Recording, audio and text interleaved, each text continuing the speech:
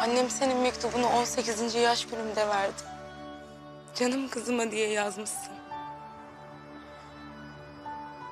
18. yaş günü hediyem sensin.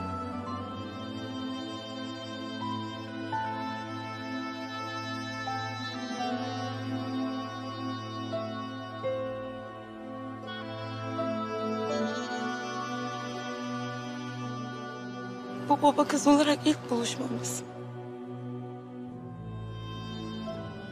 Bir bayram sabahı. Babadan ayrı kutlanan bayram ne kadar da bayramsa. Hem varsın hem yok. İçimde kocaman bir boşluk. Aklımda hayal meyal gülen yüzün. Bisiklete binmek için söz verişin. Biliyor musun? O bana anlattıkları masallardaki kahramanın sen olduğunu yeni öğrendim. Benim için hayatını feda eden babam. Benim yiğit babam. Ama hiç tanıyamadığım, hiç doyasıya sarılamadığım babam.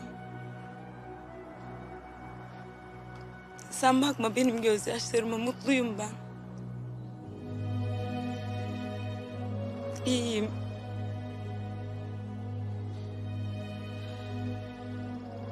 Sayende güvendeyim. Bıraktığın mektuptaki gibi. Ailemi, dostlarımı seviyorum. Seviliyorum. Hatalarım oluyor. Olacak. Ama her düştüğümde ayağa kalkacağım. Sana söz veriyorum. Çünkü ben senin kızınım.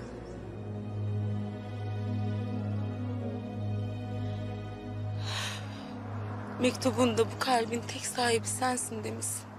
Sen de bu kalbin tek sahibisin. Kavuşacağımız güne kadar bana miras bıraktığın şerefle yoluma devam edeceğim.